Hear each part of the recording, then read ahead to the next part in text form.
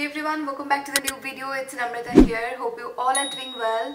So in this video, I thought to share with you my thoughts on this three newly launched Maybelline products. So I picked this up from CVS the other day. They were having some kind of offer like buy any of two Maybelline products and get $5 off.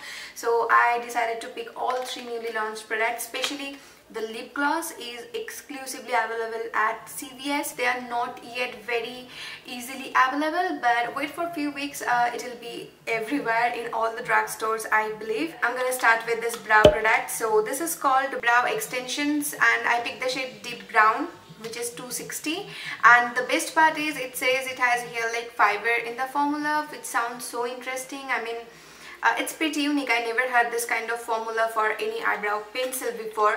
So I'm really excited to try it. So this is how thick the pencil is. It's little thicker than other regular eyebrow pencils. So it has the name written in one side and uh, wow it's pretty thick right? I mean i never used this kind of thick round tip eyebrow pencil before. I always use something which is very small very thin tip or angle tip but this one's different.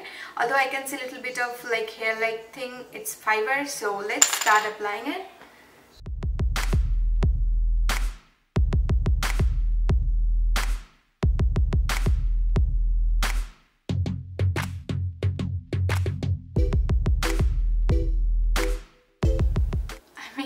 is going on? Look at this. Look at the tip.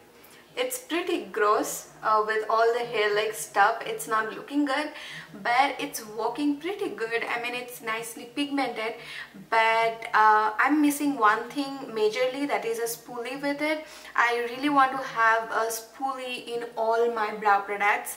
So that's the one thing I'd say is uh, needed.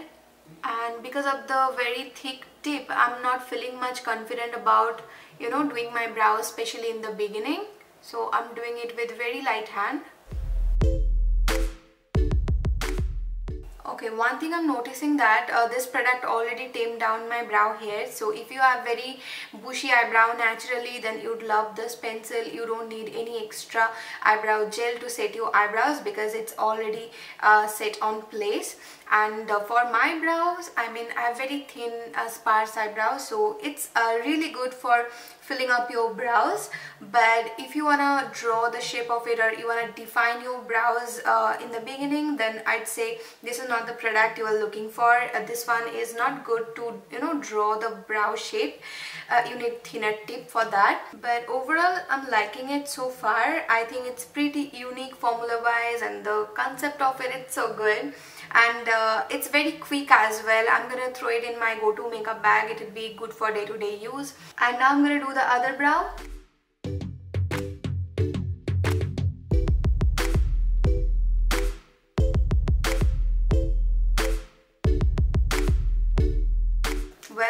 brows are done now. And uh, now I'd say I'm not completely happy the way my brows are looking right now. I'm a very very picky person when it comes to brow products and the way I do my brows it has to be that same way but with this one I got no chance to play with my brow shape so I'd say it's only good for filling up your brows and at the end it will give you uh, this kind of fuller look that for sure. So overall I'd say it's a good product but not for everyone. So this is it and now I'm gonna uh, conceal around my brows so I'm going to use this uh, Super Stay Concealer by Maybelline as well.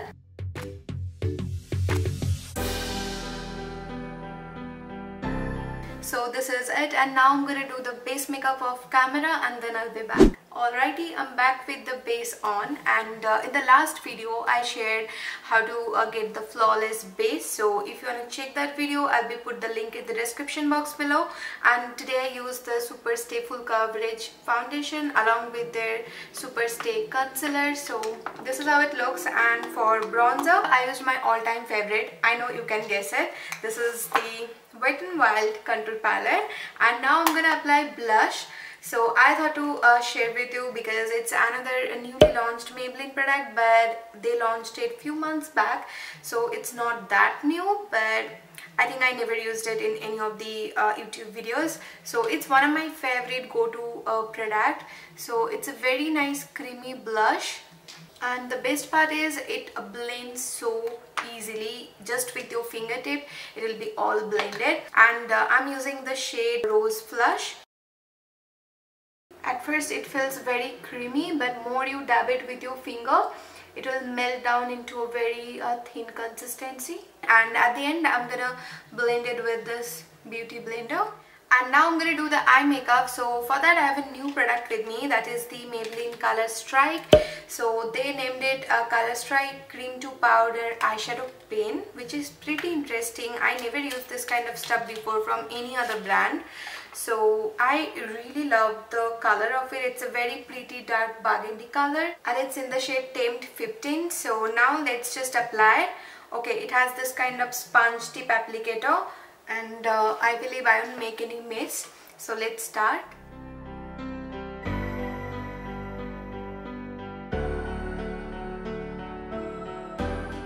wow not bad right? You can see a lot of pigment already. So now I have an idea. So I'm gonna apply it with this flat brush.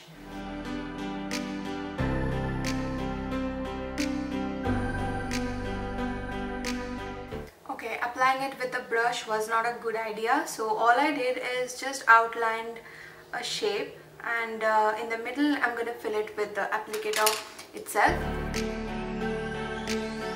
alrighty it's pretty pigmented. I'm already liking this product and uh, it's very easy to work with. So now I'm gonna clean up the edges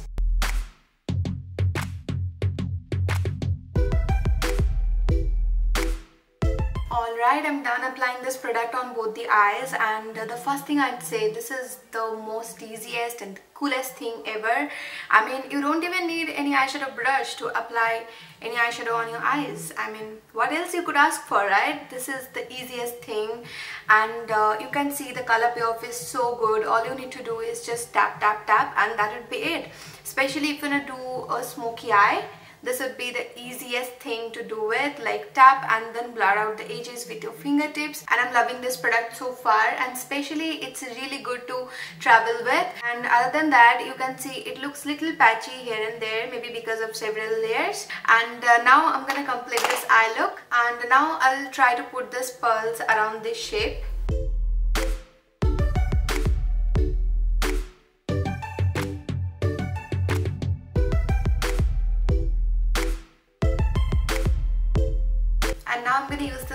eyeshadow little bit.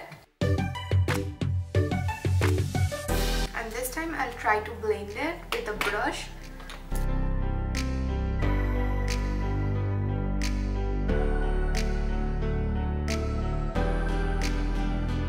And for mascara I'm using my all-time favorite Essence uh, Lash Princess False Lash Effect Mascara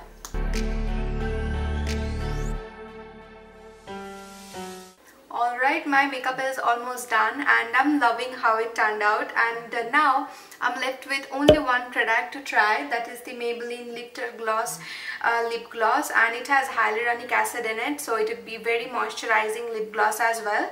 So I picked the shade Ruby but let me tell you what actually uh, made me buy this product that is the packaging i mean it has the exact same vibe as the kkw uh, lip glosses although those are uh, very pricey but this one is very affordable so i really want to try and uh, the shade here is reminding me of the fenty gloss bomb so i'm having very high hopes uh, for this lip gloss so now without doing any further delay let's just put it on and the applicator here is very similar to Fenty Gloss Bomb.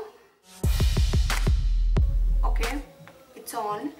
And uh, to be honest, I'm not that happy with the way it's looking on my lips although from outside you can see the pigment and the, the glitters. It's very gorgeous if you see from the outside but it looks so sheer on lips and the glitters in it almost doesn't show up.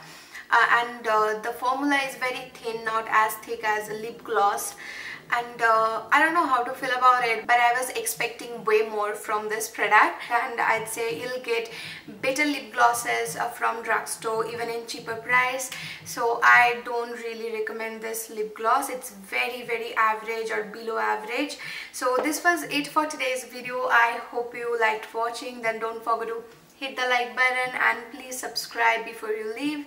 I'll be back with the next one. Till then, bye bye. Take care.